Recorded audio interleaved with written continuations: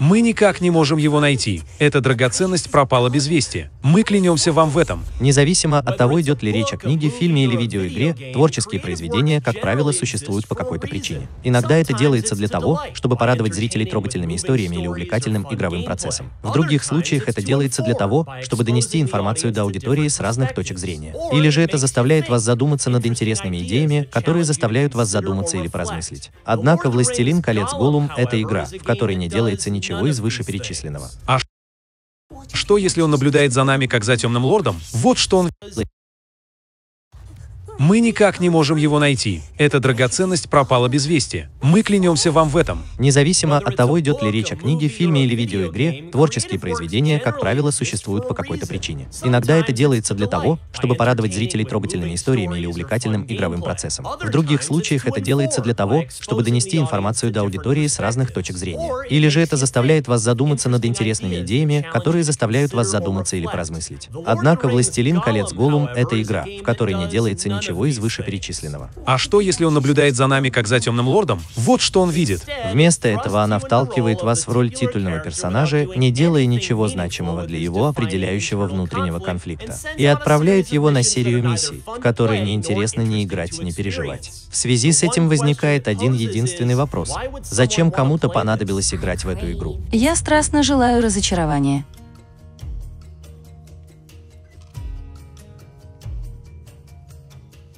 Мне показалось, что игра в роли голема вполне подходила бы для игры, поскольку он является одним из самых интересных и известных персонажей фэнтезийной вселенной младшего брата Толкиена. Он и Смиагл — это две стороны одной медали. Хороший человек, которым был Смиагл, был трагически испорчен одним кольцом, воткнутым в это жалкое существо. Именно на его липкие босые ноги вы наступаете якобы с целью вернуть кольцо во владение Бильбо Бэггинсу.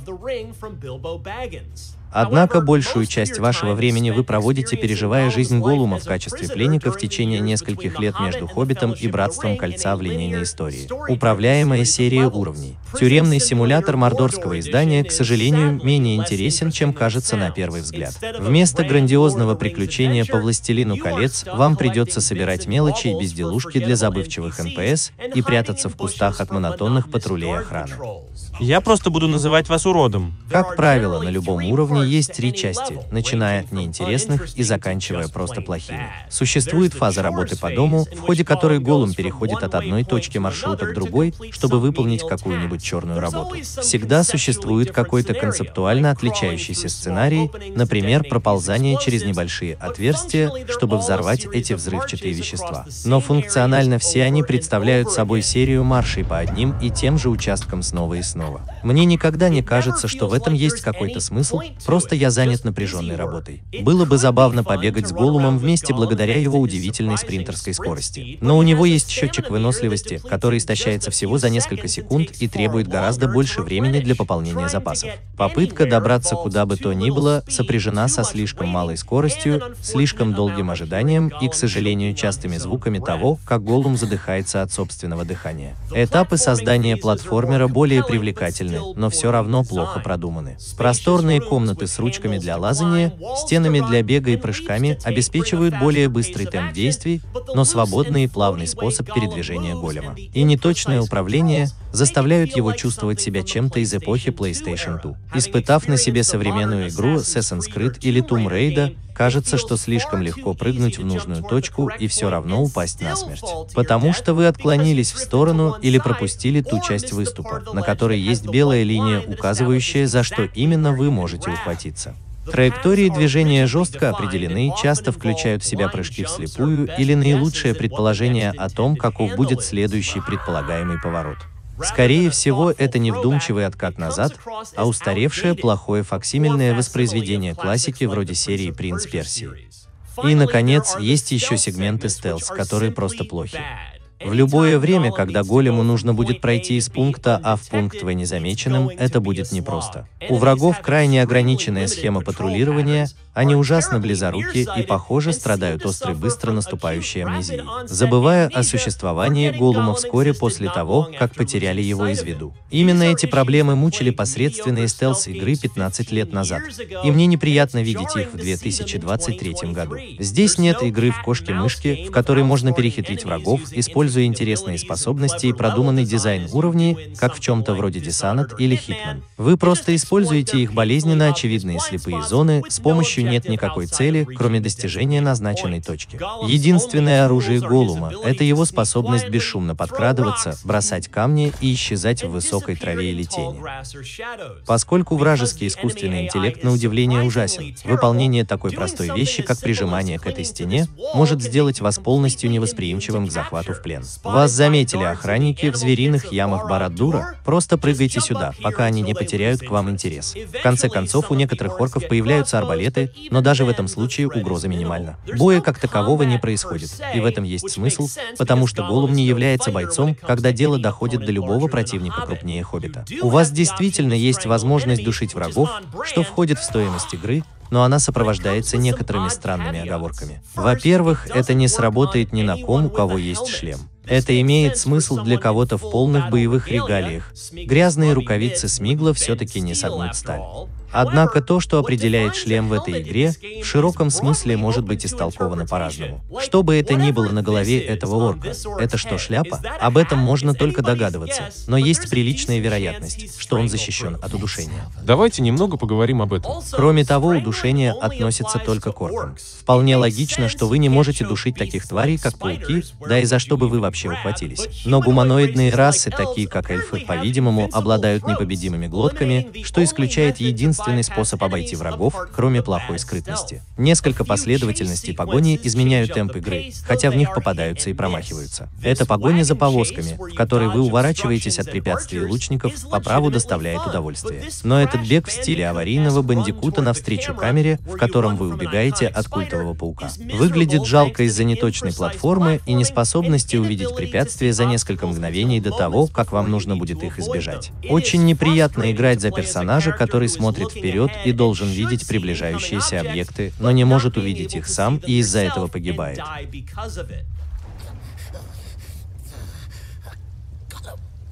Закоренелые фанаты «Властелина колец» знают, что сам Голум — сложный персонаж, одновременно жертва и злодей, но это не так. Исследуется каким-либо значимым образом в этой истории. Время от времени возникают двоичные варианты ответов на вопросы или действий в роли Голума или Смиагола, но я никогда не чувствовал себя так, как сейчас. Эта история или оказала неизгладимое влияние на самого Голума. Иногда возникает необходимость в том, чтобы одна сторона личности Голума убедила другую согласиться с его планами. Например, когда Голум прячется от орка, и картина с изображением глаза Саурона повергает его в истерику. У нас было два варианта действий.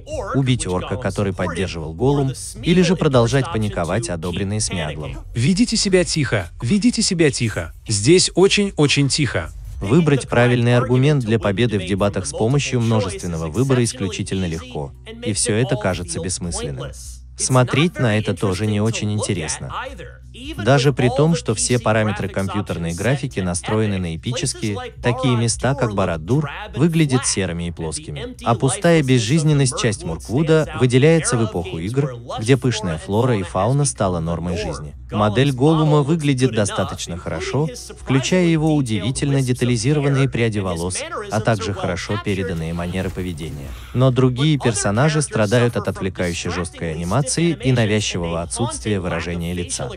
Тем не менее, звуковое оформление у нас очень сильное. Мы должны пройти в туннель, это слишком опасно. Хриплая, почти задыхающаяся речь Голума хорошо сыграна, как и более ясная и робкая сторона его личности, присущая Смиагу. Неужели именно Дигл нашел драгоценность? Любовь моя, не слушайте злых колдунов, не слушайте их. Это звучит именно так, как и ожидал бы тот, кто видел выступление Энди Циркача в кинотрилогии. Даже мелкие детали, такие как липкий звук хлопков рук Голума по различным поверхностям, когда он взбирается или бежит, или реверберация звона колоколов в определенных местах, выделяются как подлинные с впечатляющим вниманием к деталям. Но даже если бы это выглядело и звучало одинаково эффектно, Голум все равно чувствовал бы себя бессмысленно играть в эту игру. И это чувство перерастает в отчаяние, когда возникают технические проблемы. В ходе этого обзора в трех различных случаях требовалось полностью перезапустить работу уровней. Один раз из-за неудачно поставленного автосохранения и дважды из-за того, что части головоломок были полностью сломаны. Так что, несмотря на очевидность решения, продвинуться вперед не было никакой возможности. Они не были полностью нарушающими правила игры проблемами, потому что перезапуск игры устранил их, но они сломили дух игроков. Игра в тех областях, которые были неинтересны в первый раз, граничила с болезненностью во втором раунде, в чем никогда не должно было быть необходимости. И, наконец, если по какой-то причине вам захочется пройти через все это еще раз, то здесь есть скрытые предметы коллекционирования, но они не предлагают никаких вознаграждений. Если только вы не считаете это наградой. Мне просто показалось бессмысленным добавлять что-то еще к его печальной орде не столь уж ценных сокровищ. Быки строят все свои плавники именно из этих гвоздей, всегда гвоздей. Голем из «Властелина колец» не может дать удовлетворительного ответа на главный вопрос «почему?». А почему из всех интересных персонажей «Властелина колец» кто-нибудь захотел бы сыграть целую игру за Голума? Зачем кому-то променять солидное действие предыдущих игр в этой вселенной, таких как Тень Мордора, на напряженную работу, скучный и разочаровывающий платформер и плохую скрытность? Совершенно непонятно, для кого это делается и чего это должно было достичь. Совершенно ясно, что играть в эту игру совсем не интересно, и ее нельзя рекомендовать никому, кроме самых любознательных и преданных поклонников «Властелина колец». От нее попахивает грязными аксиомами. Для получения дополнительной информации о фэнтезийном экшене ознакомьтесь с нашими обзорами игр «Самое темное подземелье номер 2» и «Легенда о Зельде. Слезы королевства». А что касается всего остального, то выбирайте IGN. Дьявол не должен смотреть вниз.